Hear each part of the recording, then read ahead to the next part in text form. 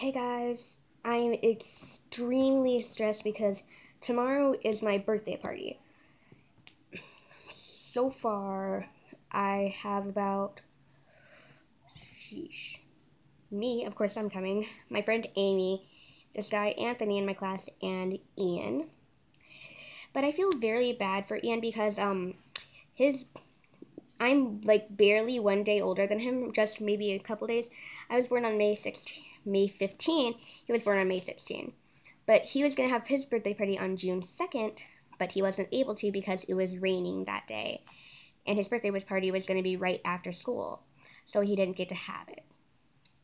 And they offered for me to have their birth my birthday party at their pool. Now, I would be all I would be totally cool with it, but it would be kind of weird because people would be like, "Why the heck are you having your birthday party at somebody else's house.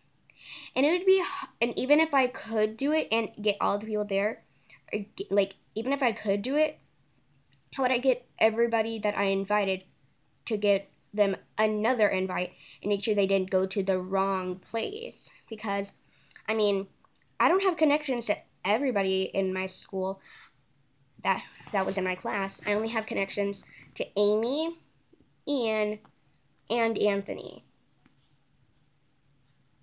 and my friend Callie, which is the person that's having her birthday party on the same exact day as mine. Starts. The one thing that I find super weird is. Nana. Sorry. One thing that I find super weird is we're having our birthday party on the same day. Starts at the same time. One. My party ends at 4 o'clock and hers ends hers ends at 3.30 only 30 minutes apart from each other when they end and I passed, we both passed out our invitations on the same exact day.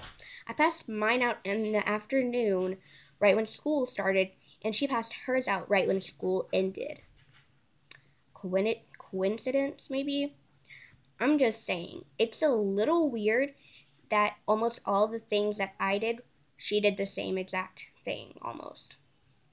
So I have a feeling like she did this on purpose, but I'm not accusing her of anything because it would be wrong for me to just accuse her of something, but I just have that feeling, you know? Well, today I have to go to Party City, get all the things, and the thing is, I have to get up there at the same time that my party starts.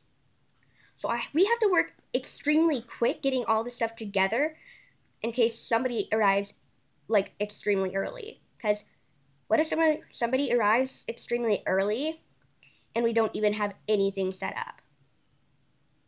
Like, that's what I'm extremely worried about. So we gotta go to Party City. We gotta get all the favors. We have to pay for all of the kids going, and we don't even know how many kids are going. So waste of money. We gotta make sure that we don't we don't go over our limit of money. It's chaos. It's really chaos. Well, oh my god. And what I think is extremely weird is like everybody is having a pool party, which of course they're having a pool party because it's summer, but huh, weird. Well, I'll see you guys next time. I hope you guys enjoyed this video. Feel free to subscribe, comment, share, and like, and I'll see you guys in the next video. Bye!